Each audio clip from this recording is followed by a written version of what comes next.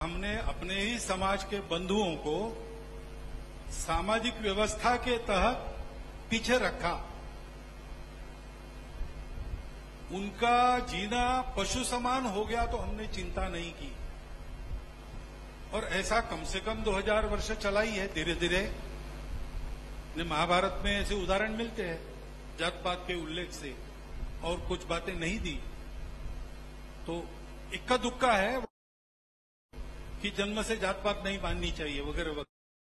परंतु तब शुरू हो गया और धीरे धीरे बहुत विकट स्थिति में पहुँचा। उनको अपने बराबरी में लाने तक उनको कुछ विशेष उपाय करने पड़ेंगे। घर में अगर हम सब लोग हैं, दूध कम आता है, सबको दूध नहीं मिलता, लेकिन जो बीमार है उसको मिलता है। तो ऐसा हम कहते नहीं कि उसको क्यों दे रहे हैं? परिवार में सब समान है, लेकिन जो बीमार है, उसकी विशेष चिंता करनी ही पड़ती है। ऐसा वो आरक्षण लागू किया है।